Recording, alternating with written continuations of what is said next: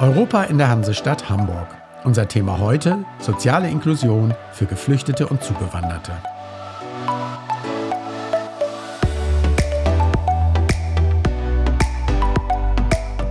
Mehr als 29.000 Menschen sollen in der Förderperiode bis 2027 in Hamburg vom ESF Plus und seinen Maßnahmen profitieren.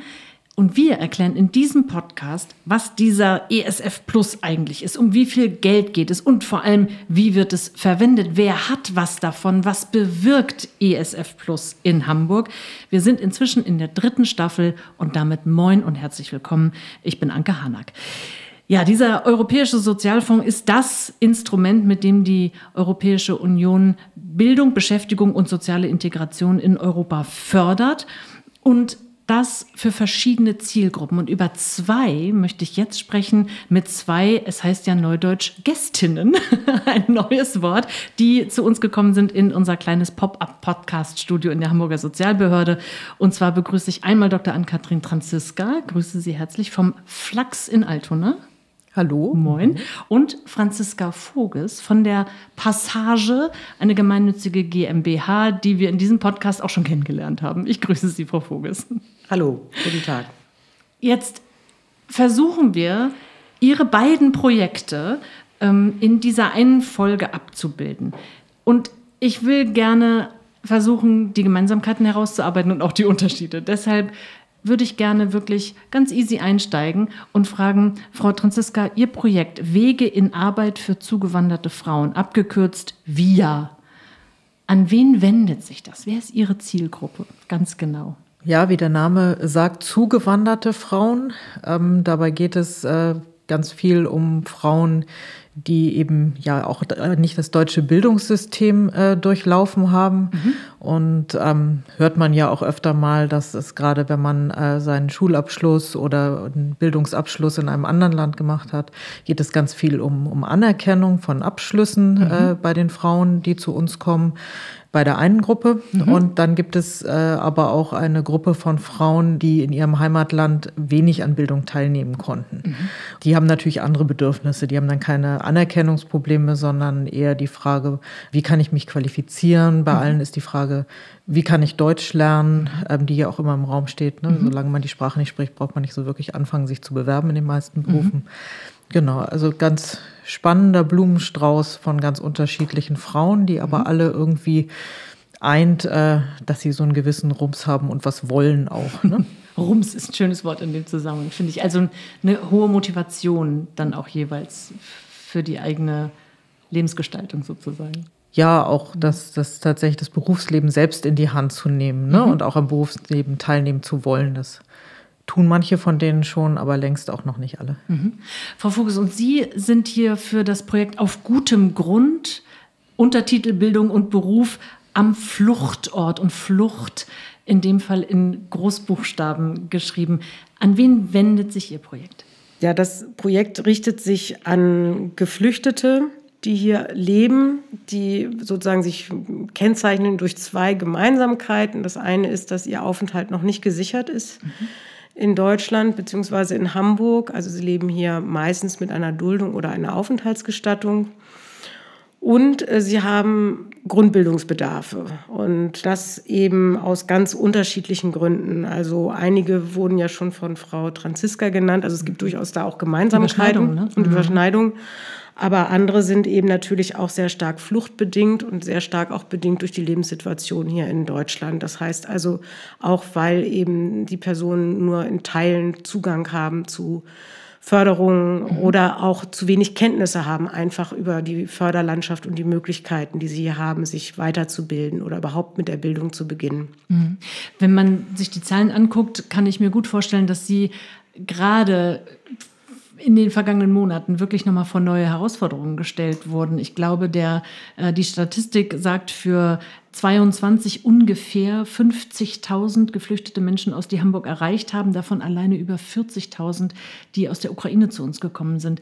Spielt das schon eine Rolle auch in Ihrem Projekt oder ist das was, was zeitversetzt erst passiert? Also bei uns kommt es auf jeden Fall enorm zeitversetzt an, mhm. einfach durch die Tatsache, dass die Ukrainerinnen, die hierher geflohen sind, also die wirklich auch die Staatsangehörigkeit der Ukraine haben, äh, ja äh, im Vergleich zu anderen Gruppen privilegiert sind, was ihre Aufenthaltssituation angeht. Also die mhm. haben diesen berühmten und erstmalig angewendeten Paragraph 24. So, also und damit den vollen Zugang zur Regelförderung gehören also nicht zu unserer Zielgruppe. Zielgruppe. Mhm. So und ähm, Wer aber ja auch geflohen ist aus der Ukraine, das sind eben Drittstaatsangehörige, die zu dem Zeitpunkt eben aus Gründen, weil sie dort studiert haben, weil sie gearbeitet haben, oder aus anderen Gründen sich in der Ukraine befunden haben. Und davon sind eben einige auch natürlich nach Hamburg geflohen. Die haben dann erstmal über, über so eine besondere Regelung eben sechs Monate hier äh, bleiben können mit einem äh, gesicherten Aufenthaltsstatus, aber eben gekoppelt an die Notwendigkeit, dann eben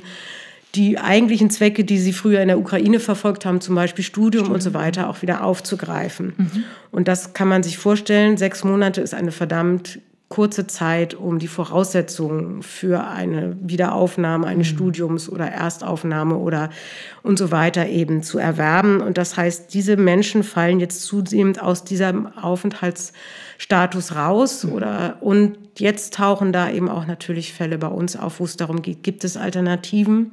Mhm. Wenn ja, welche und was muss die Person dafür tun? Mhm. Frau Franziska, die, ähm, gerade weil wir die Ukrainerinnen angesprochen haben, ist das eine Zielgruppe, die bei Ihnen schon tatsächlich angekommen ist im Flachs? Denn wir wissen inzwischen, dass manche schon entschieden haben, lieber hier zu bleiben oder zumindest länger zu bleiben, als es ursprünglich die Motivation war. Viele haben von, am, am, Anfang gesagt, wir wollen nur so lange bleiben wie unbedingt nötig und schnell zurück. Alle haben auf ein schnelles Ende des Krieges gehofft jetzt zeichnet sich ein Jahr später und wir zeichnen auf, Anfang März 2023, ab, dass es leider kein sehr schnelles Ende des Krieges geben wird. Also viele Frauen werden bleiben. Das heißt, viele von denen werden Sie kennenlernen wahrscheinlich? Vielleicht, also wird sich zeigen. Mhm. Genau, also wenn, dann äh, kommt es auch bei uns zeitversetzt. Mhm. Äh, wir haben uns neulich gerade noch mal drüber unterhalten, gerade auch in dem Projekt Wir und hatten den Eindruck, dass viele der Ukrainerinnen, die jetzt herkommen, erstmal nicht so dieses Arbeitsmarktthema haben, weil ganz viele ihren Arbeitsplatz in der Ukraine haben und äh, von hier aus einfach remote dort arbeiten mhm. können, mhm. sozusagen. Und das deckt sich natürlich auch mit diesem Gefühl, ich möchte eigentlich zurück. So, ja. ne? Und die behalten ihren Job da. Mhm. Es sind tatsächlich also relativ wenige, die sich in, ah, ja. in diesem Projekt finden. Und auch sonst ähm, sind die, glaube ich, oft anders organisiert. Also mhm. es, unsere Tür steht natürlich offen mhm. und es kommen auch welche, aber gerade in dem VIA-Projekt äh, waren es ganz wenige bisher. Dann sprechen wir über die, die da sind mhm. und die durch sie befähigt werden und ähm, ja, also tatsächlich auf den Weg gebracht werden, denen, denen sie Hilfe anbieten, um in Bildung, in Beschäftigung ähm, zu kommen. Welche Angebote unterbreiten Sie konkret?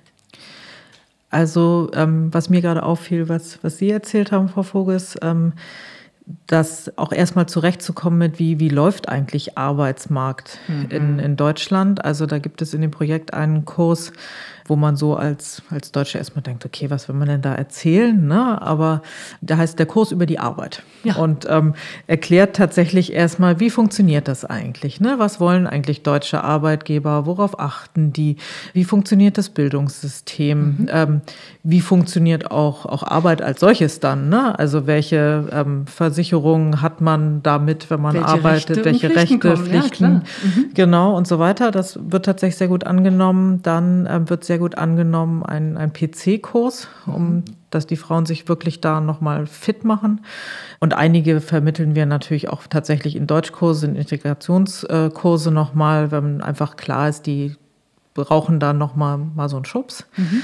Und dann kommen aber eben auch durchaus nicht nur äh, Frauen, die geflüchtet sind, sondern, also mit der einen habe ich noch gesprochen, die sagte, nee, nee, ich bin einfach umgezogen.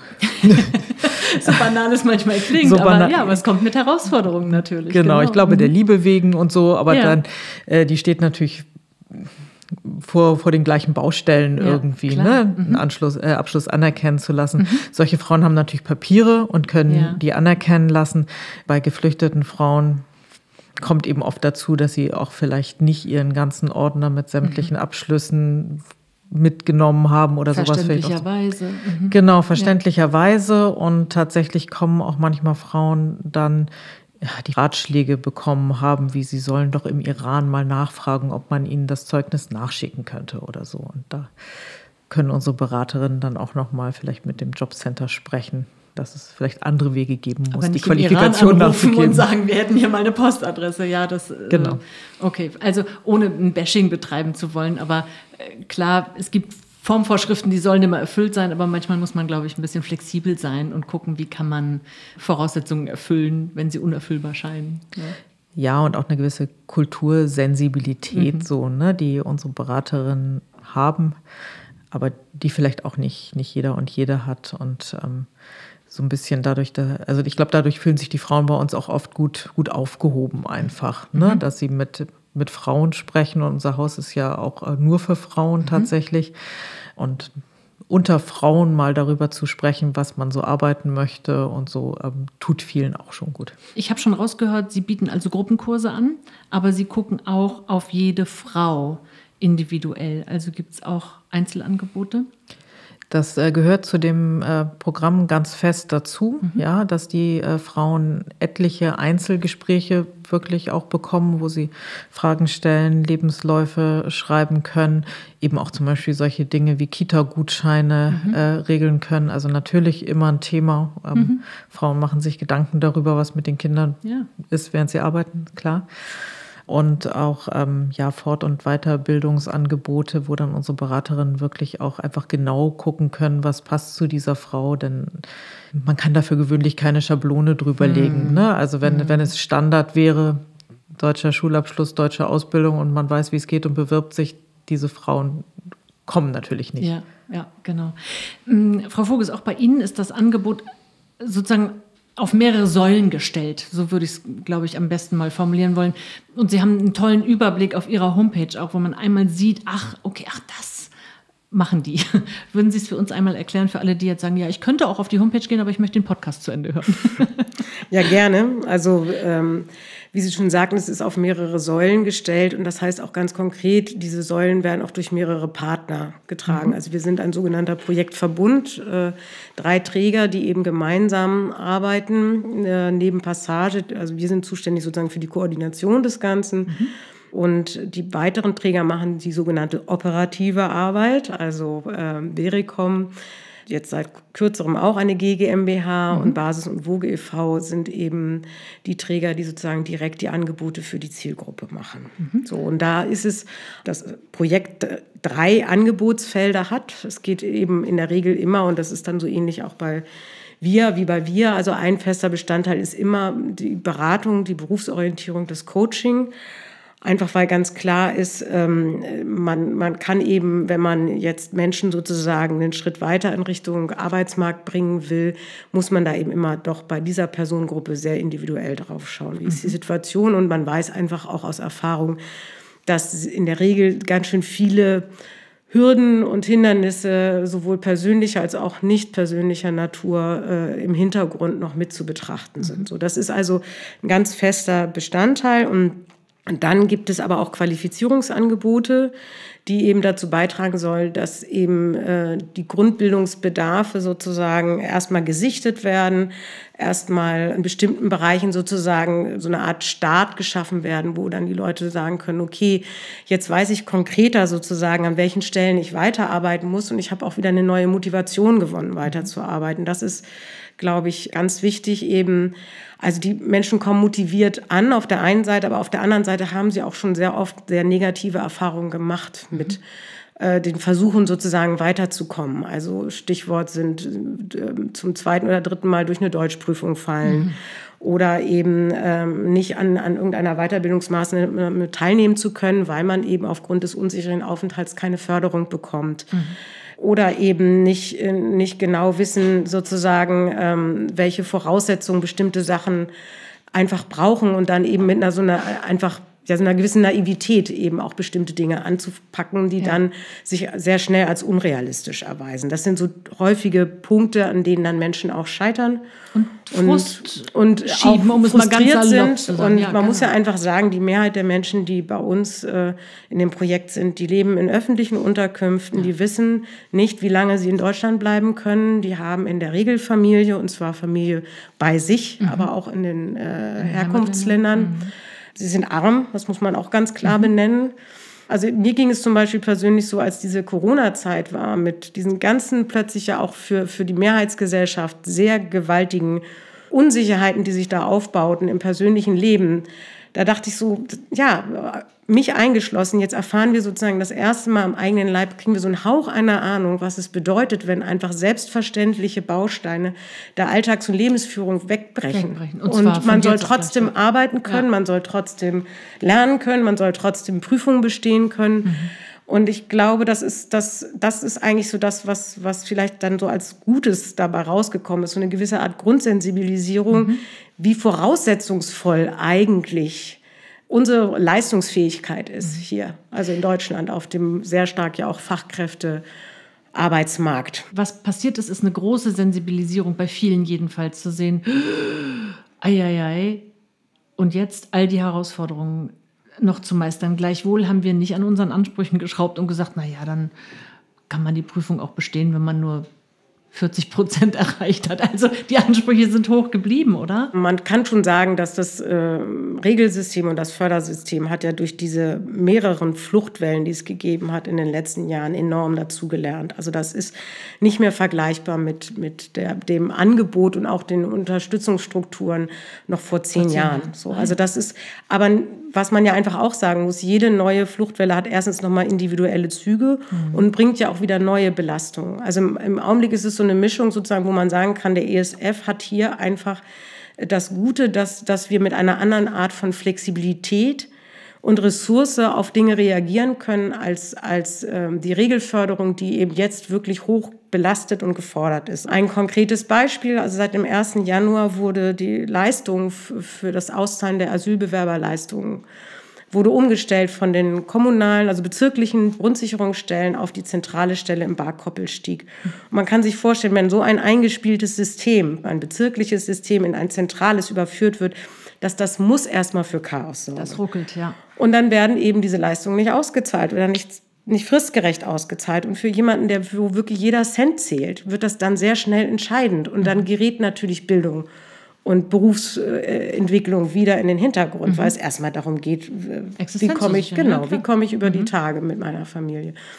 Und hier sieht man einfach immer wieder, es gibt verschiedene Dinge, die einfach strukturell auch teilweise verändert werden müssen, die aber immer in der Regel erstmal wieder zu so einer Art Eruption führen mhm. und die dann auch wieder durch solche Angebote wie die unseren oder wie wir, ne, Wege mhm. in Arbeit, besser aufgefangen werden können, weil wir einfach äh, flexibler und sozusagen mit einem besseren oder höheren Betreuungsschlüssel auf die Menschen reagieren können und ihre Nöte, die jetzt entstehen. Ich glaube, wir kriegen eine gute Idee davon, zumindest mit welchen Herausforderungen Sie zu tun haben. Mich interessiert, wie kommen die Menschen zu Ihnen oder anders gefragt, wie kommen Sie zu den Menschen? In welche Richtung funktioniert bei Ihnen die Kontaktaufnahme?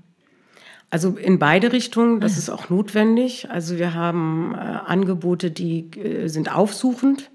Das heißt, wir gehen in die Unterkünfte und versuchen darüber vor allen Dingen mit dieser Vorgehensweise Menschen zu erreichen, die wirklich noch sehr isoliert sind. Mhm. Und auch nicht nur zu sagen, hier sind wir und das machen wir, sondern wir machen da auch schon konkret kleine Workshops und Trainings, damit die Leute eben dann schon sehen, aha, vielleicht lohnt sich das für mich dann irgendwann auch den Weg in, in die andere Richtung zu mhm. machen. So, also schon mit kleinen Erfolgserlebnissen. Genau, und das eben mit solchen okay. Grundbildungsthemen, die äh, erfahrungsgemäß eben natürlich auch alle unmittelbar angeht. Es geht also zum Beispiel ganz viel um, um sowas wie Vertragswesen und eben ganz konkret der Handyvertrag, mhm. ne, die, die Versicherung, die Kontoeröffnung.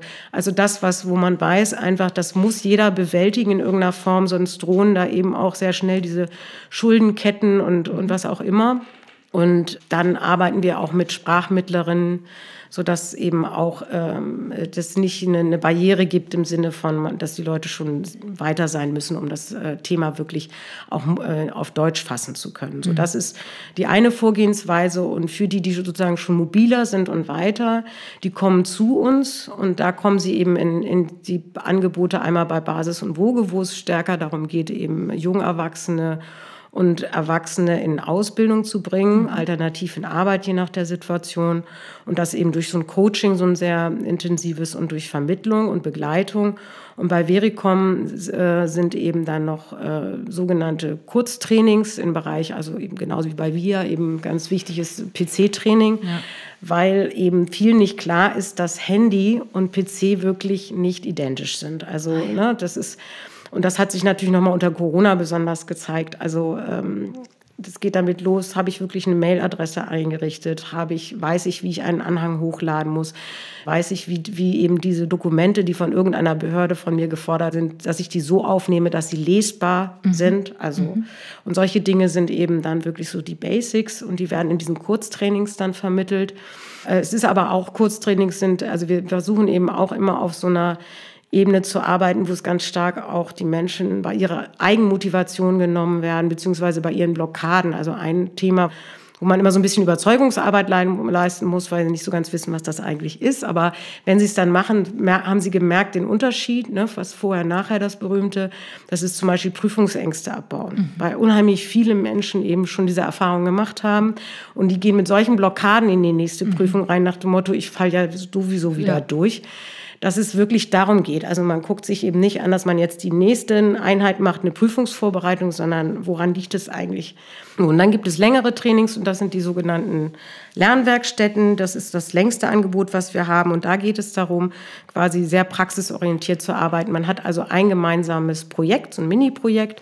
Das ist meistens das Erstellen eines Produkts mhm. äh, zu einem bestimmten Thema. Also wir haben angefangen mit so einer Kochbox und dann mussten eben diese Kochbox gebaut, befüllt werden mit verschiedenen Sachen. Und da haben die eben in Mini-Teams gearbeitet und haben eben neben den ganzen Soft Skills, die dazugehören, also wirklich als Team zusammenarbeiten, mhm. sich aufeinander verlassen müssen äh, und so weiter. Das war alles noch unter Corona-Bedingungen ganz schön ja, war, war schon ganz schön ja, tough. Ja. So, ähm, ging es eben darum, auch wirklich äh, dann darüber diese Grundbildung, typischen Grundbildungsthemen. Ich muss eben auch mal berechnen, wie viel brauche ich denn jetzt? Ne? Mhm. Da, äh, wenn ich jetzt das Budget von 100 Euro habe und ich will jetzt hier irgendwie eine Marmelade kochen, ähm, ne, was muss ich denn da jetzt berechnen? Mhm. Also sowas wurde dann indirekt vermittelt und natürlich die ganze Zeit Deutsch immer als Hintergrundthema. Es wurde alles eben immer auch aufbereitet ähm, sodass die Deutschsprachkenntnisse weiterentwickelt wurden. Und am Ende ganz wichtig, sich präsentieren, ja. sich und sein Produkt vor Dritten mhm. präsentieren. Und das waren, also wir sind da auch in, in Firmen gegangen, da waren die Teilnehmer so stolz am Ende auf sich und die sind so motiviert da rausgegangen. Und da waren dann also einfach auch so Rückmeldungen, dass sie gesagt haben, naja, am Anfang ehrlich gesagt wusste ich überhaupt nicht, was ich hier sollte. Da ist ja dann auch gar kein, keine Deutschprüfung gewesen ich habe hier kein Zertifikat mhm. bekommen, sozusagen, mhm. was ich benutzen kann. Aber ich habe noch nie so viel gelernt mhm. in Deutschland wie in diesem Kurs. So, und das, das haben sie, das ist eigentlich das, was, was uns so bewegt, dass es so schade ist, dass es oft diese Konkurrenz gibt. Ich muss Dinge machen, damit mein Aufenthalt gesichert mhm. ist, damit ich hier irgendwie weiterkomme in der Arbeitsmarktförderung, damit ich Arbeit finde. Und ich lerne eigentlich erstmal hier selbst zu lernen. Ich lerne einfach so das, was wir immer so sagen, das sind die Basics. Ne? Ja, und so eine gewisse Qualität höre ich schon raus, geht häufig leider verloren, aber darauf legen Sie offensichtlich großen Wert, das da reinzubringen. Ich glaube, das ist ein bisschen die Idee dahinter, die Dinge mit Leben zu füllen. Ne? Frau Franziska, wie ist es bei Ihnen? Wie kommen die Frauen zu Ihnen oder Sie zu den Frauen? Wie funktioniert das? Bei VIA speziell, aber grundsätzlich bei Flachs. Bei VIA speziell äh, kommen tatsächlich die Frauen ähm, mhm. zu uns. Also natürlich sind am Anfang äh, Gespräche gelaufen mit KooperationspartnerInnen und mhm. äh, dass die auch, auch das Jobcenter verweist manchmal welche und sagt, ne, wenden Sie sich doch nochmal ans, ans Flachs. Das Flachs ist ja äh, ein Mehrgenerationenhaus mhm. auch. Das heißt, es gibt da wirklich sowieso auch viele Angebote. Es gibt auch eine Mütterberatung, über die viele ins Haus kommen und dann mhm. natürlich auch sehen, okay, da gibt es ja auch was zur Berufsberatung oder mhm. so. Äh, es gibt ein kleines Café unten sodass manche tatsächlich auch einfach kommen, um mal einen Kaffee zu trinken, Kuchen zu essen. Und es gibt ein Sprachcafé zum Beispiel auch, also ne, zum Thema äh, Spaß auch an der Sprache und sie einfach entspannt auch mal benutzen, ne, wo immer, ach so ein, ja, immer irgendwie verschiedene Frauen sitzen und sich dann einfach auch mal in Ruhe unterhalten glaube ich, letzte Woche kam ich runter, äh, da ging ein Gespräch dann los über Allergien. Ja, also jeder kannte das deutsche Wort dafür, worauf er selber allergisch ist oder eins der Kinder. Und dann wurde den anderen erklärt, was das denn ist, eine Pflaume und so. Ne? Und ähm, aus lauter verschiedenen Sprachen dieses Wort rausgesucht und so. Also ungezwungen einfach. Ja. Ne? Die waren dann neugierig darauf, was hat die andere zu erzählen so und dann entspannt sich so ein, so ein Gespräch. Und äh, solche Angebote haben wir eben viele, die tatsächlich einfach sehr niedrigschwellig mhm. sind. Was wir auch anbieten, das hat auch nicht direkt mit dem VIA-Projekt zu tun, aber auch da gibt es natürlich Überschneidungen, ist die Möglichkeit, sich auf den ESA, den, den ersten Schulabschluss, früher hieß er Hauptschulabschluss, ja. ähm, vorzubereiten. Also da wird quasi der, der Stoff der, der 9. Klasse ähm, mit Frauen geübt, äh, die dorthin kommen, ist nicht so verschult, sondern tatsächlich eher eine Partnerschaft mit den Lehrerinnen, die das da auch machen und die es auch also die alle auch schon an allgemeinbildenden Schulen unterrichtet haben mhm, und das auch, mhm, mhm. auch genießen, ne, mit erwachsenen Frauen, die was wollen, das äh, zusammen zu machen. Und da war der Kurs jetzt in der Corona-Zeit ein bisschen kleiner. Jetzt sind wir wieder mit voller Kursgröße da mhm. gestartet. Das ist auch eine sehr gute Möglichkeit natürlich für die Frauen, wirklich auch aus diesem Thema rauszukommen. Ne? Wie gut spricht man eigentlich Deutsch, Anerkennung von Abschlüssen und so. Es ist dann einfach ein deutscher Schulabschluss und dann hört diese Fragerei mal auf. Mhm. So, ne? Und auch da sind die, die Gruppen sehr gemischt von Frauen, die ein gewisses Bildungsniveau haben und auch von welchen, die das aus dem Heimatland so nicht mitbringen, sich mhm. selber viel beigebracht haben. Und dann kommt man natürlich auch wieder auf diese Grundbildungsthemen. Also es gibt, wir haben im Moment jetzt gerade wieder einen Lesen-Schreiben-Kurs laufen, also nicht zur Alphabetisierung, aber um das eben zu verbessern, auch im Deutschen das zu ja. verbessern. Und äh, auch im mathematischen Bereich gibt es so einen Kurs, wo man wirklich, also gerade wenn man natürlich nicht nur als migrierte Frau, gibt ja auch ähm, Frauen, die im deutschen Schulsystem damit schon immer Probleme mhm. hatten oder so, ne? Aber wo man wirklich auch nochmal diese Grundfertigkeiten auffrischen kann. Da sind wir immer, ähm, Frau Vogel, Sie haben den Begriff eben auch schon genannt, im Bereich der Grundbildung unterwegs, richtig? Mhm. Also für, für alle, die jetzt sagen, ja, ja, ja, das ist ein Thema, damit habe ich mich so gezielt jetzt auch noch nicht beschäftigt. Wir reden immer von Grundbildung, Bildung, Ausbildung, Fortbildung. Da, die Abgrenzung ist ja für Laien gar nicht so ganz einfach im Detail, aber wir reden hier tatsächlich über Grundbildung. Mhm, also gerade dieser Mathekurs, wenn, wenn dann welche fragten, haben wir immer gesagt, das ist so Grundschulniveau. Mhm. Also wirklich dieses, ne, wie rechnet man aus, wenn man, ich weiß nicht, was das für ein Beispiel war, wie viel Gläser Marmelade oder was weiß ich was, ne? Dass das eben einigen schwerfällt und manche stellen das tatsächlich auch fest, ähm, wenn sie ihre Kinder dann durch so eine klassische mhm. deutsche Schullaufbahn äh, begleiten, was ihnen eigentlich selber auch entgangen ist. Mhm, ne? Mhm. Also in dem letzten ESA-Kurs war jetzt eine Frau, die gleichzeitig mit ihren Zwillingen sozusagen den Abschluss gemacht hat. Ah, ja. okay. Was ich dann auch wirklich faszinierend finde, ja, sich dann nochmal aufzuraffen, sowas zu machen. Ja, es ist bewegend regelrecht, ne? Ja. Viele sind schon angesprochen, aber vielleicht noch einmal gebündelt der Blick auf so Hürden, Hemmnisse, Schwierigkeiten in der Zielgruppe, gerade jetzt in Ihrem Fall der zugewanderten Frauen. Was würden Sie sagen, sind so die vielleicht Top 3 der Themen, die die Frauen tatsächlich hindern oder es ihnen sehr schwer machen, an Bildung, an Beschäftigung ähm, in Deutschland teilzuhaben? Neben Sprache vielleicht. Also ich würde Sprache ja. ausklammern, weil ich glaube, das Thema haben wir genug gecovert oder zumindest ausgeleuchtet einmal. Was, was darüber hinaus? Ja, habe ich keine Statistik jetzt natürlich. Nee, ne, aber aus von, dem Bauchgefühl, genau. Genau, aber vom genau. Bauchgefühl her würde ich sagen, ein sehr großes Thema ist tatsächlich immer die Anerkennung von Schulabschlüssen mhm. und auch die Anerkennung von akademischen Abschlüssen mhm. und auch diese Kombination daraus. Mhm. Ja, also wenn eine fertig studierte Akademikerin, die im Heimatland auch schon gearbeitet hat, äh, um die Anerkennung ihres äh, Realschulabschlusses äh, kämpfen muss hier. Das ist einfach, ja, es ist nicht nur schwierig, sondern es ist tatsächlich dann für die Frauen auch demotivierend. Mhm. Ne? Mhm. Man sagt, okay, also wenn ich hier nachweisen kann, ich habe studiert, dann werde ich wohl auch zur Schule gegangen sein. So, ne? Ja, ähm, ja. Daran hängen die oft schon und da hakt es dann oft und ähm, da kann auf jeden Fall sehr gut geholfen werden. Mhm. Und dann ist es tatsächlich oft auch diese Baustelle, wie funktioniert eben wirklich in Deutschland die Arbeitswelt, der Arbeitsmarkt. Mhm. Ähm, warum kriegt man vielleicht auch Absagen, ähm, die man hätte vermeiden können und andersrum auch, das Problem haben ja Frauen sowieso häufig, dass äh, wenn eine Stellenanzeige nicht hundertprozentig passt, dass sie sich dann nicht trauen, sich mhm. da zu bewerben.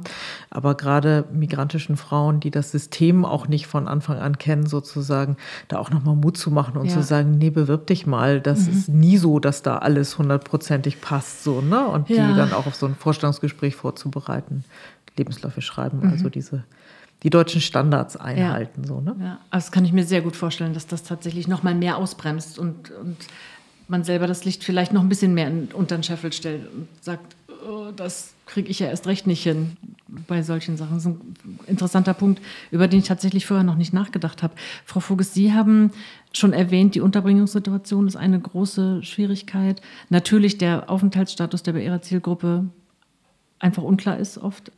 Was würden Sie noch sagen? Ist zu subsumieren unter Hemmnisse, Schwierigkeiten, Herausforderungen, die ganz besonders für ihre Zielgruppe unique sind, wie man ja so sagt. Ja, also einiges deckt sich auf jeden Fall ja auch mit dem, was mhm. Frau Franziska schon gesagt hatte. Was man vielleicht noch ergänzen kann, ist eben, dass es müssen immer zwei Schienen mitgedacht werden, die ähm, sehr teilweise ja sich sogar fast widersprechen. Das eine ist sozusagen, was will ich selbst und kann ich selbst ähm, in Bezug auf meine berufliche Perspektivplanung und was muss ich vielleicht mhm. auch machen, damit ich eben in Deutschland bleiben kann. Mhm. So und das ist und was davon ist jetzt sozusagen realistisch? Also mhm. ist, und da brauchen eigentlich die meisten eine Unterstützung. Also diese, diese Entscheidungsprozesse sind eben einfach relativ komplex. Äh, also man kann ja, wenn man, wenn der Aufenthalt gesichert ist, dann kann man eben auch in längeren Bildungswegen denken, äh, wo eventuell das, die Sicherung des Lebensunterhalts keine zentrale Rolle spielt. Mhm. Wenn der Aufenthalt nicht gesichert ist, dann ist das aber eine ganz zentrale Komponente, die man mitdenken muss. Ja. Das heißt nicht, dass man jedem per se sagen muss, äh, für dich ist das ist Studieren unrealistisch, mhm. weil du hier mit einer Duldung lebst. Aber man muss es ganz anders betrachten. Mhm. Eine Besonderheit in unserem Projekt ist, dass wir eben auch Menschen mit äh, Arbeitsverbot aufnehmen können. Das ist ja eine Besonderheit für Menschen, die entweder noch sehr am Anfang des Asylverfahrens sind, dann ist es mhm. befristet, oder es eben für Menschen, die hier mit Duldung leben und wo die Ausländerbehörde, also das Amt für Migration in Hamburg davon ausgeht, dass die Identität noch nicht ausreichend geklärt ist. Mhm. Und wir können da eben beraten äh, dahingehend, wenn wir den, die Einschätzung haben, es gibt eine realistische Perspektive darauf, dass das Aufenthalts, äh, das Arbeitsverbot aufgehoben werden mhm. kann.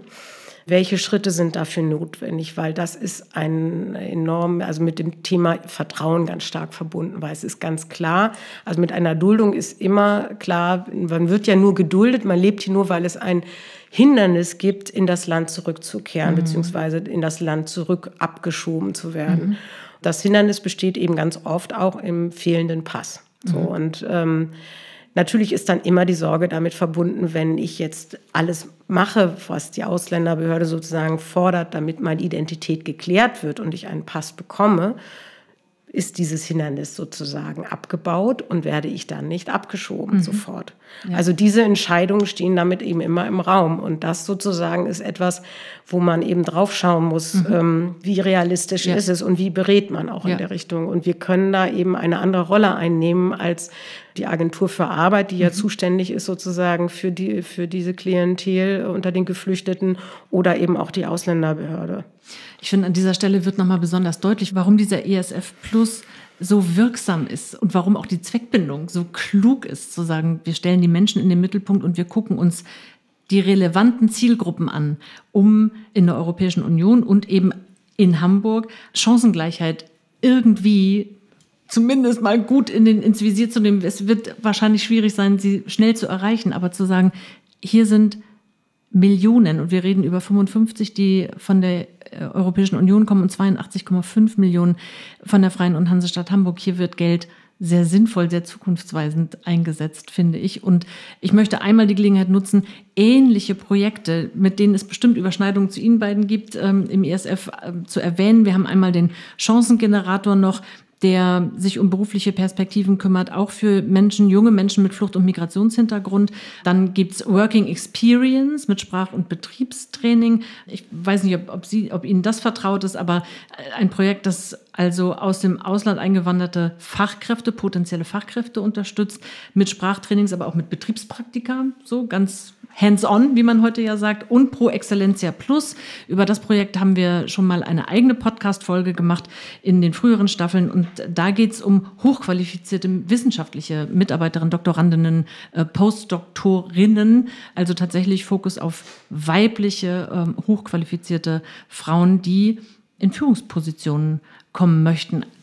Zum Teil mit Überschneidungen zu ihren Themengebieten, zum Teil auch nicht. Aber wir sehen, es gibt starke Projekte, die ESF gefördert sind und die Menschen in den Fokus nehmen, die zu uns kommen, aus welchen Gründen jetzt auch immer, sei es Umzug, sei es eine dramatische Fluchtgeschichte. Und ich möchte noch einen Hinweis loswerden, nämlich auf der Seite esf-hamburg.de gibt es einen tollen Film mit Biografien mit Menschen, an denen wir ansehen können, was tatsächlich eine ESF-Förderung mit ihnen gemacht hat. Und das ist ein junger Mann, der mit einem äh, migrantischen Hintergrund kommt und Hafenschiffer wird.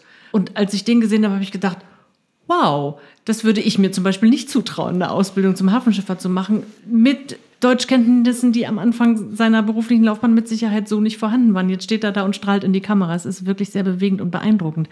Bringt mich dazu, Sie nach Ihren tollen Beispielen zu fragen, die Sie besonders ähm, bewegen, Frau Vogels. Haben Sie eins, wo Sie sagen, ja, da, daran muss ich immer denken. Und das bewegt mich so, dass ich das einfach auf Jahre hinaus immer wieder gerne mache. Ja, also ich bin schon etwas länger dabei und ähm, es ist ja eine sehr herausfordernde Arbeit, das mhm. muss man ganz klar sagen. Und wenn es genau nicht diese ganzen persönlichen Erfolgsbeispiele gäbe, also diese Menschen, die man ja direkt wirklich noch vor Augen hat und weiß, ja, das hat wirklich Sinn gemacht, dass mhm. es diese Projekte gibt, dass es auch immer wieder diese Mühsalen, die mit Projektförderung verbunden ja, sind, dass man die so auf sich nimmt, ja. alle, die daran beteiligt sind. Und jetzt aktuell in dem auf guten Grund vielleicht zwei Beispiele, weil es ja zwei Träger sind, die das sozusagen da auch mit anbieten. Bei Vericom eben äh, aus dem Angebot eben dieser Lernwerkstätten, die ich schon erwähnt hatte. Da war es eine Frau, die hier, ähm, die aus dem Irak kam oder kommt und hier mit, noch mit einer Aufenthaltsgestattung lebt. Die hat äh, fünf Jahre Schulbildung hinter sich, mehrere Kinder, wovon eins eben schwer behindert ist und da ging es einfach darum, äh, die war aber hoch motiviert, die wollte jetzt endlich unbedingt auch mal wieder was für sich tun. Mhm. Und äh, da ging es ganz stark darum, sozusagen diese beiden Schienen, also die familiäre Belastung sozusagen und ihre eigene berufliche äh, Entwicklung sozusagen in den Blick zu nehmen und wie kann man das eben äh, sozusagen zeitgleich daran arbeiten. Und mhm. das heißt also, in dieser Lernwerkstatt hatte sie dann mal so einen Zeitraum für sich hat dann eben in der begleitenden Beratung wurde sie dann eben weitervermittelt mit ihrem Kind an einem Angebot der Lebenshilfe, um da einfach eine Entlastung zu bekommen, ja. was die Versorgung anging. Und für sich selbst eben wurde sie in die Abendschule vermittelt, eben um den ersten Schulabschluss zu erwerben. Und da ist sie jetzt drin und dran und will, ist fest entschlossen, das äh, zu machen. Also Toll das sind, ist einfach immer schön, wenn man weiß, dass, dass die Leute wirklich dann erstmal einen guten Anfang bekommen haben durch das Projekt und die nötige Motivation und Unterstützung, um dann weitermachen zu können. So, und das ist das eine Beispiel. Und bei Basis und Woge, da ist es eben ein äh, junger Mann aus Marokko, der jetzt 21 ist oder zu Beginn seiner Ausbildung 21 war, der aber vorher elf Jahre hier schon war in Deutschland, äh, also durchaus auch das deutsche äh, Bildungssystem noch in Teilen mit äh, durchlaufen hat, aber ohne Schulabschluss abgeschlossen, lebt hier mit einer Duldung und lebte hier auch mit einem Arbeitsverbot. Also da ist dann eben ganz oft in anderen Förderstrukturen Schluss. Schluss, ja. Dann wurde eben genau das, was ich vorher schon beschrieben habe, eben zeitgleich bearbeitet. Also gibt es eine Chance darauf, dieses Arbeitsverbot aufzuheben. Und es ging eben das, um das Thema Identitätsklärung, Passbeschaffung. Mhm. Und äh, gibt es gleichzeitig, welche Möglichkeiten gibt es für ihn, hier beruflich äh, einzusteigen? Und äh, es ging dann über mehrere Betriebskontakte, also das, das die Berufscoaching hat, hat eben dann ergeben, ja, Tiefbau wäre sowas, was er sich vorstellen könnte. Und da haben wir natürlich nicht Nein gesagt, weil das definitiv ein Bereich ist, wo gut gesucht wird. Fachkräftemangel. Ne? Also ja, ja. kräftige junge Männer werden, sind heiß begehrt mhm. da und äh, das waren trotzdem aber eine Menge Absagen, weil wie gesagt, er hatte keinen Schulabschluss, mhm. Duldung und so weiter. Ja, schwierig. Mhm. Und man ist aber dran geblieben, er ist dran geblieben. Also der, der Berater hat dann mit ihm wirklich immer gemeinsam diese Betriebskontakte äh, aufgenommen, zeitgleich eben äh, Kontaktaufnahme mit der Ausländerbehörde. Mhm. Und dann war irgendwann das nötige Vertrauen bei dem Mann da, dass er gesagt hat, okay, ich mache jetzt alles, um meine Identität zu klären. Und das hat dann zwei Tage vor Ausbildungsbeginn hatte er den, Pass durch, wow. seine, das, durch das Konsulat erhalten ist damit zur Ausländerbehörde marschiert und hat die sogenannte Ausbildungsduldung bekommen. Wow. Und damit eben jetzt eine Sicherung. Ja. Und ähm, im Sommer 23 schließt die Ausbildung ab und der Berater ist sehr optimistisch, dass er sie auch erfolgreich abschließen wird. Ja, toll. Das so. sind die Beispiele, die das, das sind so, einfach, ja. wo man dann immer wieder denkt, ja, ich weiß warum. Ja, Oder wir alle wissen, warum wir das machen. Ja, toll, so. ganz wunderbar. Ähm, Frau Franziska, Sie haben jetzt tatsächlich im Flachs erst vor zwei Monaten die Geschäftsführung übernommen. Das heißt, ich würde jetzt fast vermuten, ohne was unterstellen zu wollen, so viele Erfolgsbeispiele haben Sie selber persönlich noch nicht begleitet, aber Sie haben die Situation im Café eben geschildert, Ihre Beobachtungen. Was sind die Erfolgsbeispiele, die Ihnen vielleicht auch die Kolleginnen berichtet haben oder wo Sie sagen, so das ist es, das ist der Grund, warum wir hier am Start sind, warum wir VIA machen und warum wir auch zu Recht die DSF-Förderung haben? Ja, die Frauen den ganzen Weg durch die Beratung und so begleitet äh, habe ich natürlich noch nicht. Machen Sie ja jetzt. genau, mache ich jetzt. Und äh, was ich tatsächlich was dann auch VIA-spezifisch ist. Wir haben äh, zwei Stockwerke, das Café ist unten und die, die VIA-Beratung äh, ist oben im, im ersten Stock. Was ich total schön finde, ist Frauen, die dann auch äh, einen Ausbildungsplatz oder tatsächlich auch einen Arbeitsplatz äh, gefunden haben, die dann auch immer noch mal hochkommen und das Ach, ja. der Beraterin erzählen und so. Und dann merkt man richtig so auch, dass auf diesem Flur dann auch so eine, so eine Stimmung ist, wo man denkt so, ja, ne, das hat ja. wieder geklappt so. Und äh, das habe ich tatsächlich schon, habe ich mehrere Situationen jetzt schon mhm. erlebt, äh, wo Frauen kamen und davon berichteten, dass das jetzt alles so läuft, dass sie einen Vertrag unterschrieben haben, mhm. dass sie den nochmal vorzeigen wollten mhm. oder so. Ne? Und, oder eine kam dann mit, mit dem Baby und dem Arbeitsvertrag und so. Das, genau, aber da laufen natürlich viele Prozesse auch noch. Das ne? ist ja vor allem Zeugnis davon, dass tatsächlich eine, eine gute Bindung stattfindet, dass ein Vertrauen da ist dass nicht die Frauen hinterher sagen, okay, Haken dran, Tschüssikowski, sondern sie wollen auch den Erfolg, den Erfolg teilen, ja? Ja, das mit Sicherheit, genau. Das, das merkt man auch in den Beratungsgesprächen schon, ne? mhm. ne? dass da ein Draht da ist und ähm, ja, einfach ein, ein gutes Miteinander ist, so, ne, ja. dass die sich nicht den Eindruck haben, das ist jetzt hier mein Pflichttermin, den ich machen muss, mhm. sondern das, das merkt man schon, dass die kommen, weil sie eben auch die Beratung wollen und weil dann eben auch ein, ja, ein Vertrauen zu der Beraterin entsteht und sie da einfach auch ehrlich sein können ja, und so, toll. ne, und auch mal sagen können, was sie eigentlich abseits von allen Hinderungsgründen, ne, irgendwelchen fehlenden Papieren und kleinen Kindern und was weiß ich, was man alles so im familiären mhm, Umfeld mhm. vielleicht auch noch so hat, einfach auch mit dieser Beraterin mal besprechen können, was mhm. sie selber eigentlich wollen. Ja. Ne? Und dann eben zu sagen, okay, und was kann man dafür tun? Kann das funktionieren? Ähm, welche Schritte muss man dafür gehen. Mhm. Ein Begriff, der mir gerade einfällt, ist Female Empowerment. Das ist so ein äh, heute ein Begriff, der manchmal überstrapaziert wird, aber ich finde in Ihrem Fall äh, passt er ganz hervorragend. Ich möchte noch einen Punkt, Frau Voges, mit Ihnen besprechen.